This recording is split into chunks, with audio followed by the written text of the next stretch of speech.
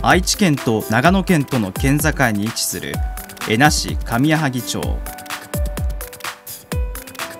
この町に創業24年の割烹料理店があります。新鮮な魚介類や旬の食材にこだわり東京の料亭で修行した板前が作る懐石料理が売り。定食メニューも豊富にあります。それでも平日となると店内はこの通り。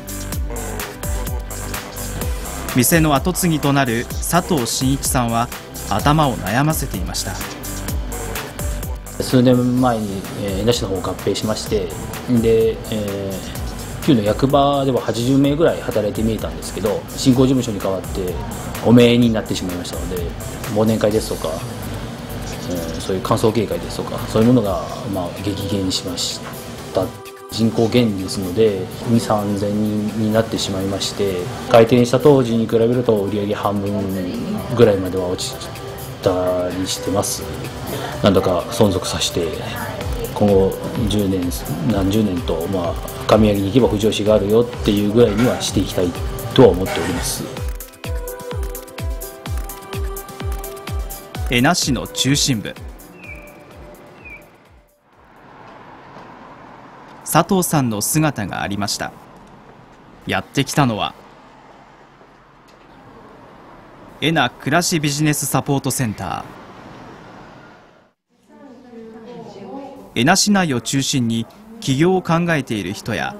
主に恵那市内の中小企業や小規模事業者をサポートするため恵那市が今年8月にオープン。業種に関係なくあらゆる事業の相談を何度でも無料でできます。佐藤さんも集客力を上げるにはどうしたらよいか相談に来たのです。相談に乗るのはセンター長の板谷悦三さん67歳障害の方を食材ありきでメニューを考えるのか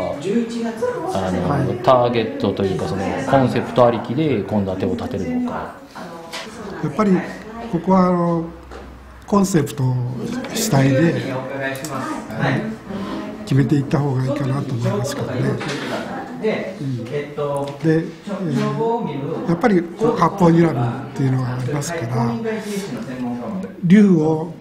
まあ、メインテーマにして佐藤さんの店からすぐのところにある寺ここの天井には八方睨みの竜と呼ばれる絵が描かれています。上矢作町のお隣、岩村町にある、現在はその跡が残る岩村城から移築されたものです。佐藤さんはサポートセンターからこれを集客に生かしてはどうかと提案され、竜にかけた新メニューを売り出そうとしているのです。女城主ですね、えー、ということであの、まあ、今ブームになってるしあ結構あのお城のファンの方もいらっしゃるもんですからついでにちょっと寄っていただいて竜を見ていただいた後竜に関係したいろんな食材で召し上がっていただけたらどうかというふうに考えてるんですけど。近くにあるんですけどそこまでその価値には気づけないところもあるので、まあ、相談させていただいた時にその気づかされるというかその大客観的に見ていただくとそこに勝機がある。今年3月まで恵那市内の有名菓子メーカーで長年経営企画などの仕事をしていた板谷さんなぜサポートセンターのセンター長になる道を選んだのか。成功への分岐点に迫ります。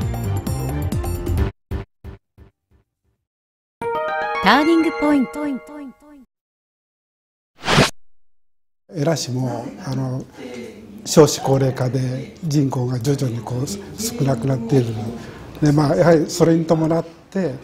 あの、まあ、働き手が少ないとか、はいまあ、それから消費も減ってるということで、まあ、地元の企業にえ約12年間お世話になってました。で、まあ、非常にこうエラシン自体についても愛着といいますかそういうのがありましたので恩返しといいますか、えー、今までお世話になったところにこう貢献できるいい機会をいただいたと。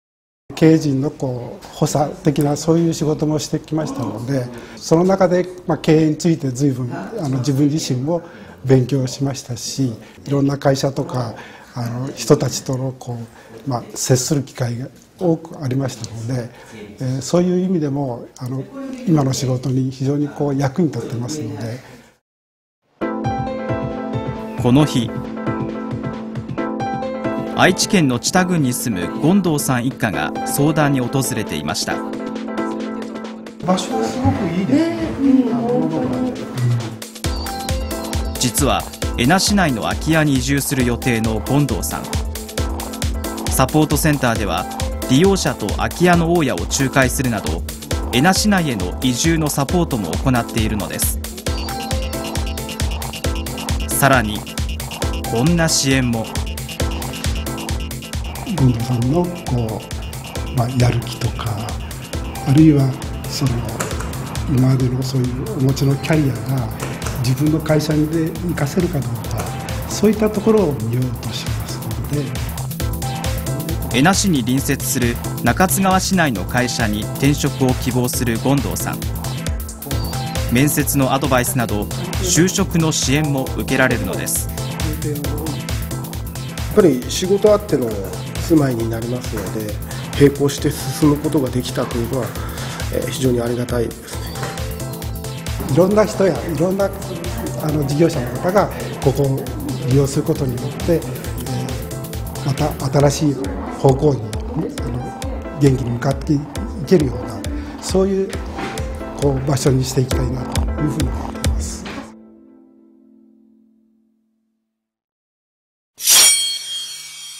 地方創生が叫ばれる中